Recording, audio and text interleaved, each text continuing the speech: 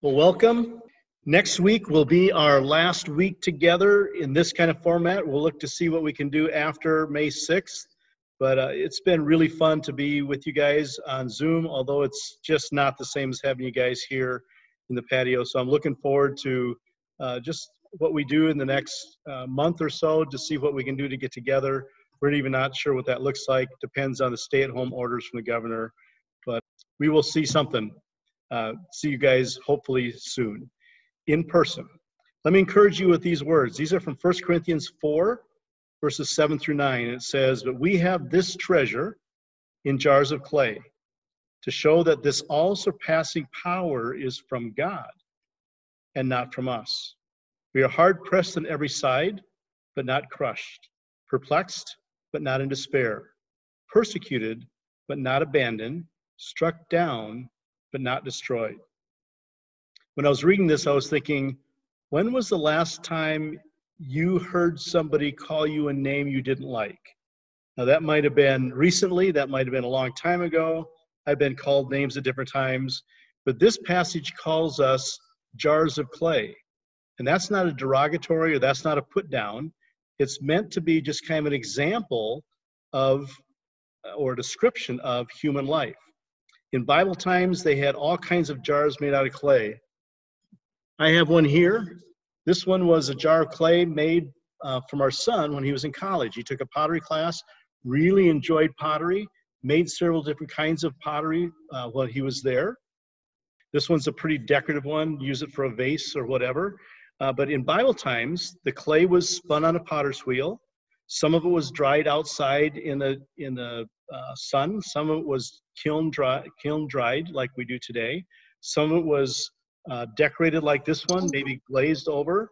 Some of it was um, some was very plain, where they use it for common, ordinary kinds of things. Like you see pots that are used for plantings, uh, the clay pots that we have that are orange that you get out of the store. Some were very ornate, some were used to store, the ornate ones often were used to store uh, very important documents, or maybe they were used just as decorations around the house. They all had one thing in common though.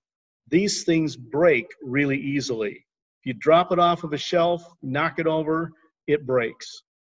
And that's kind of describing what our physical life is like. When, when this passage talks about we are jars of clay, it means that we are fragile we are easily broken. So just like as this description says, just like uh, these jars of clay, human beings are like that. We're made in God's image in all kinds of different shapes and sizes with all kinds of different functions and gifts. Some are ordinary. Some of us are ordinary and we're made for everyday plain purposes, but God uses us that way. Some He's created for extraordinary purposes. Some are empty and are just for show. But as believers, this physical body, this jar of clay as it describes us, uh, has a unique purpose. We have God through the Holy Spirit living inside of us. That's what this verse tells us. Our purpose isn't to prove how beautiful we are or how important we are. Our purpose is to show, according to this verse, this all surpassing power is from God and not from us. Our purpose is to show the world that God makes a difference in our life. So, how do we show people that the power in us, in our life, is from God and not just the things that we are doing in our own abilities and our own strength? He closes out that passage by saying, We are pressed, but not crushed. You may be feeling overwhelmed by homework, by tension at home, all kinds of different things right now. But we also know that God comforts us in those times. We are pressed, but not crushed. We are perplexed, but not in despair. We have no idea when our lives are going to get back to normal with this coronavirus thing. But we know that God is in control. We are perplexed, wondering, but not in despair. We are persecuted, but not abandoned. Some of you have been rejected by friends because you haven't gone to a party or something that they were want to be involved in. Some of you feel like you've been uh, rejected by parents through a divorce or those kinds of things. But we know that God will never leave us. We're persecuted, but not abandoned. We are struck down, but not destroyed.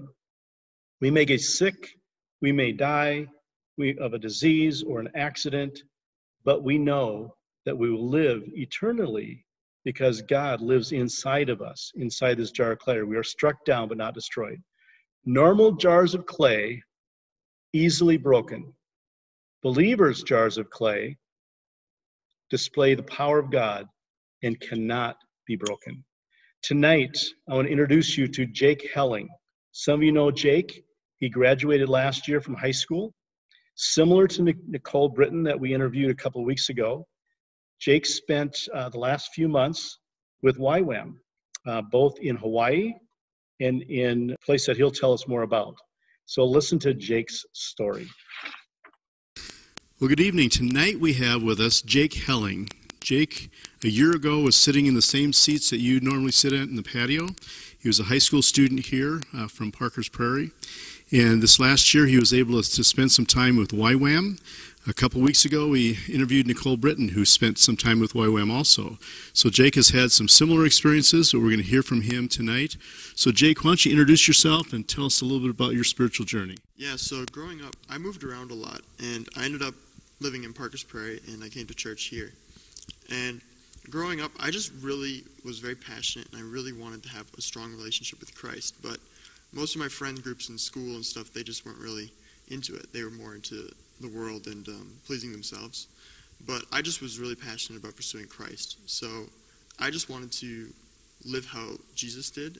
And Jesus came and he lived for us by like serving us. And so I thought, oh, okay, well, the best way for me to live a godly life would be to serve others. So I just tried to look in as many ways as I could to serve others. I would hold the door open for others during class. I would wait to the end of the line during lunch. And I just go out of my way to just do things for other people. But the thing is, I was doing it so I was trying to please God. I was trying to make God proud of me. But He was already proud of me. He died on the cross for me. That gave me some uh, turbulence as I was trying to earn something that had already been given to me, something that God had already died, that Jesus had already died for. I was trying to I was trying to like earn God's approval when he had already sacrificed himself for me and he had like shown his love. He displayed it for me on the cross. And so it took me a while, but I soon realized like that I don't need to earn anything from God because he's already given it all to me. He's given it to me and us as a gift. It's a gift from him to us. And he's only giving it out of love. There's nothing we can do to earn it. We don't deserve it in any way. And through that, I was just able to receive more of God's love for me and I was able to pour it out on the others without feeling like, oh, I didn't hold the door enough today, or oh, I didn't pray for this person today. Um, after just like taking it in and soaking in, like, wow, God sent his son and he died for me and he died for everyone just because he loves us. Like, I don't need to earn his love. Like, he already showed it for us. And he died for the whole world. That's awesome. And you were able to then, after high school, God kind of laid something on your heart uh, called YWAM. We heard about that a couple of weeks ago. And I'm sure you didn't follow in Nicole's footsteps and went somewhere warm for YWAM, right? No, no. so after high school, I ended up going to YWAM and signing up for it. I'm like, I have no clue where I want to go. I just want to serve. I want to go. I want to do something. And I get there, and just on my and where heart, was that? On my heart, I'm feeling Eastern Europe. Never before in YWAM history has there been a team that's gone to Eastern Europe, except for this year. First year, Ukraine, and they're sending the first Fire and Fragrance YWAM team to Ukraine. I'm like, I got to be on that team. I put that down as my number one option, and three months later, I'm wearing a jacket. and where did, where was your training? Your DTS though? I had DTS in Kona, Hawaii, which was the main base of YWAM. And I was there for three months in training, where we had plenty of incredible speakers come in that just encourage us and teach us. It was absolutely incredible. And then the next three months we were out. Um, my team specifically we went to Ukraine, and we were just out doing um, outreach and reaching out to uh, the community there, working with local churches, and just evangelizing on the street. Okay, so you went to DTS first in Kona. Then from Kona, what what are some things that you learned or God taught you in Kona? While you were there in DTS? God really spoke to my heart about how I don't need to earn His love. That's like where He really pounded it into me. It was incredible. Just like I've already spoken on this a little, but just how he, how much he loves us and everything that he's done for us. A lot of the stuff the speakers covered was prayer and just like praying for others and learning how to love others and just pour out the love that Jesus has for us onto others. Because sometimes we can just get so full of it and we're like, oh, Jesus, we love you. But YWAM is so focused on like sharing that with other people and blessing other people and just helping strengthen that relationship with yourself in Christ and also introducing others to it. So we learn just how to love people and how to pour it out and just a lot about Jesus' love and how we can testify to that. Okay. So then you were able to go to Ukraine. That was your missions part of YWAM. How long you, were you in Ukraine? So, yeah, our team was in Ukraine for three months, but things were kind of cut short at the end because of the virus. But I think all in all, it was an incredible experience. Okay. And so, what do a life in the day of a YWAM in Ukraine? Oh man! All right, on outreach. So we'd get up really early in the morning. We'd have a meeting in our in our apartment at about 8:30 every morning. Um, we'd meet and we'd kind of go over everything we're going to do that day, and then we'd have maybe like an hour of just worship and just intercession in our in our house. Um, but most days we would do street evangelism. So after that, we'd maybe have breakfast if there was time, but otherwise we'd all pile in our team's van and we'd go to a local subway system or a church or sometimes a train station and sometimes just the city square. And we just do live worship. We just have signs up like, "Oh, we speak English. Come talk to us." And then we'd ask, "Oh, can we pray for you?" or "What what's going on in your mind right now?" Because in Ukraine specifically, a lot of the people, it's it's kind of a colder culture. Like people aren't so um, outgoing there. So they just see these people that are out worshiping in the street. Like, what's going on? And then we come and we ask them if we can pray for them, if we can bless them, and we just like love on them. And it's it's truly incredible just to be able to love on people who like culturally it's it's so different. Um, and that's something we would do. After that, we would we would go back to um, one of the churches we were partnered with, and we'd like discuss and pray over the people that we met. Uh, we'd talk about the testimonies we heard, the testimonies we shared, and we'd um, then after that we'd have intercession kind of, and then we'd have a team meal. Um, we'd go back home, more intercession, more worship, kind of a prayer time, and then some alone time just in our Bibles, and go to bed, get ready to do the same thing the next morning. Okay, so in Ukraine, you said the people were colder, they're not as outgoing as they are here. What are some other unique things that you've found in Ukraine that either surprised you or as a team you had to work through?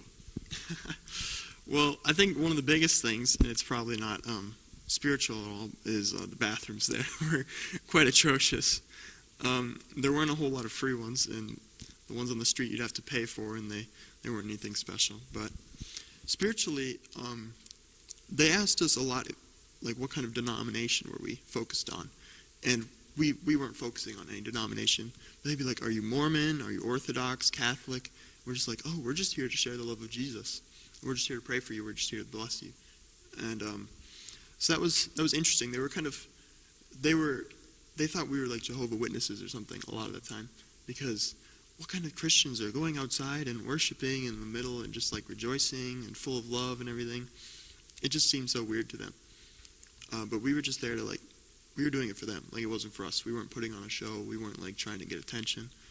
Um, so that was something that we had to kind of bridge a gap with, and it would draw their attention. But then we'd have to, we would like, you know, we'd start loving on them, and we'd be like, "We're doing this for you. We're here for you." Okay. So what's what would be a predominant church? They were trying to figure out what denomination. So what would be what they would be most familiar with in Ukraine as far as churches? Yeah, uh, predominantly there is Orthodox, Eastern Orthodox. Um, personally, I don't know a whole lot about like the ins and outs of it, but they assumed us as like English speakers were probably Catholic, and sometimes they even thought we were Mormon or something. Um, but we would just tell them like, "Oh, we're just here to spread the love of Jesus. We're just here for you." Okay. So what? When you say outreach, you did worship. Did you do plays, what, how did you share Christ verbally or non-verbally with, I, I know you loved on him, but what does that mean um, in, a, in what you did during the day? Yeah, so in the ways that we would like just show the love of Jesus and our love for them, we would offer to pray for them. We would offer um, spiritual readings, is what we would say, because some people that perhaps weren't religious, they wouldn't want to be like, oh, I don't want to be prayed for by this person for their God. So we would offer like spiritual readings, spiritual prayers. We'd offer, um, we just talk to them, just get to know them. A lot of the people that, since it's like such a cold, shut off kind of culture, um, they don't have people to talk to. So we would just like offer to listen, offer support, pray for them, pray for what they're going through. Another big part of it was children's ministry, and for them we tried to keep things a little bit lighter. Um, we would start with a little skit, kind of just a fun, uh, non-religious skit, but just to kind of crack them up, get their attention. And then we'd like share Bible stories, like David and Goliath or Moses and the plagues, because personally for me when I was a kid, that, that stuff blew me away. That stuff was incredible. Just like, oh, this small boy defeating a giant. Mm-hmm. It's just incredible, that kind of thing.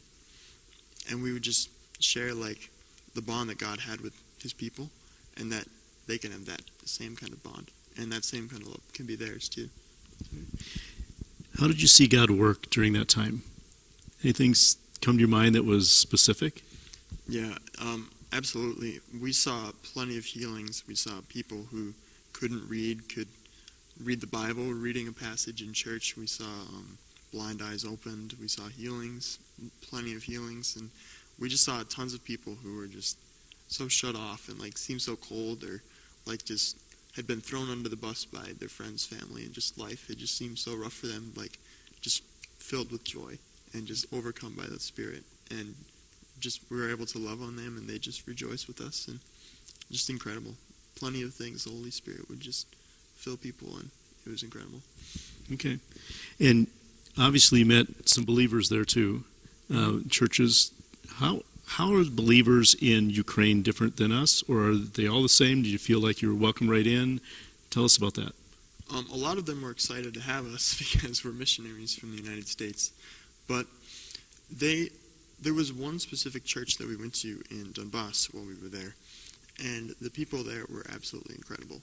Their church, Donbass, was like a war torn kind of region between the Russian and Ukrainian conflict that's going on. And they were running a church in the middle of all that. And they would hold services, they'd have people come in, and they were just so on fire for the Lord. Like with everything around them going on, like they were just so passionate. And we would have nights there where we go out and just door to door handing out gifts and inviting people to church, and just seeing the impact that that had on the community was incredible, and that the fire that they had in their heart to like bless people, even though it was like dangerous outside and like everything around them seemed so gloomy, and just um, just the way that they went through it and just pursued God and the way that He was faithful to them, just incredible.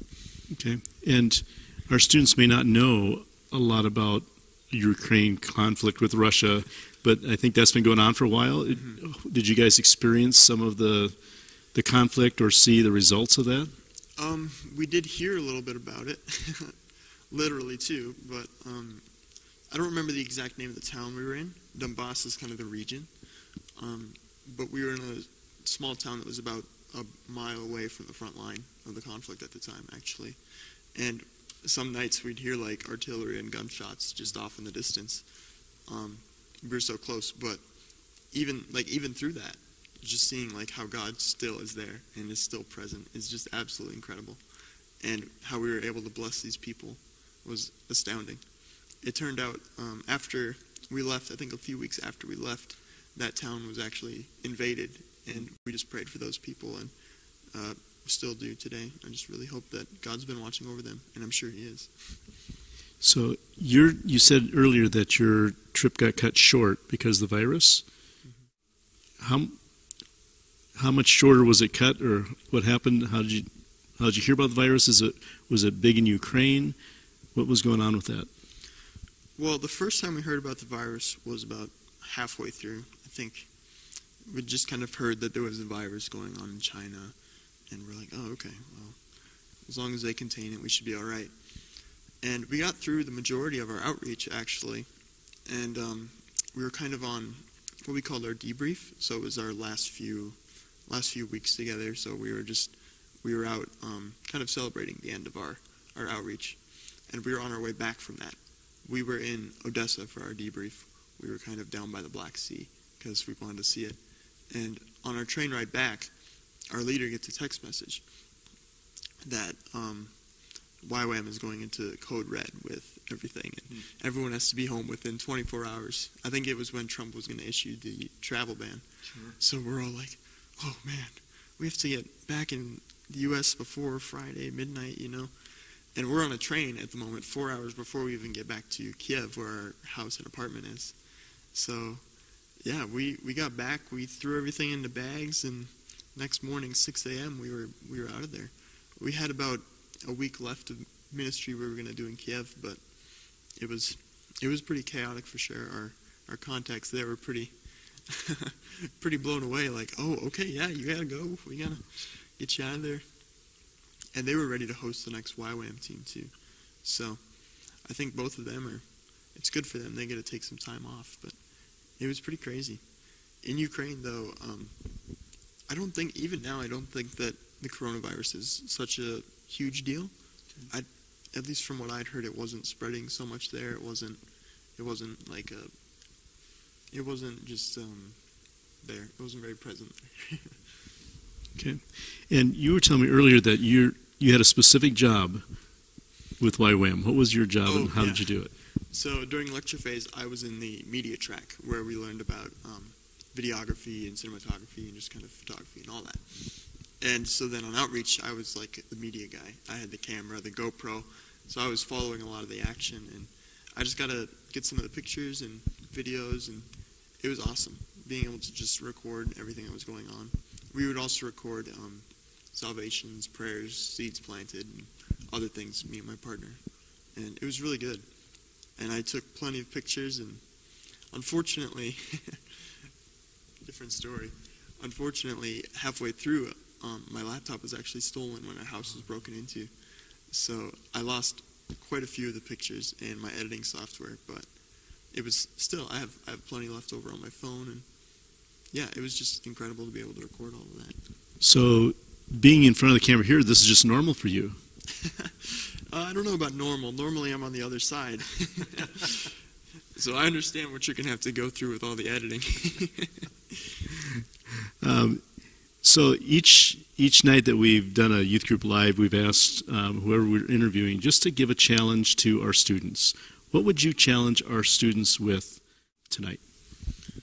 I would just challenge you to step out of your comfort zone for somebody else. To just go out of your way. It can be something big or small, just to kind of show your love for them show Jesus' love for them. All right. Hey, can I pray for you? Yeah, of course. And pray, Lord, thank you for Jake. Thank you for how you have been instrumental in his life for many years, but how you have shown him that you are a graceful God, that you have completed everything on the cross. He doesn't have to earn his salvation. Thank you for his willingness to share that with other people. Thank you for the experience you've given him, but also the, the ministry opportunities you've given him, both in the United States but also in Ukraine.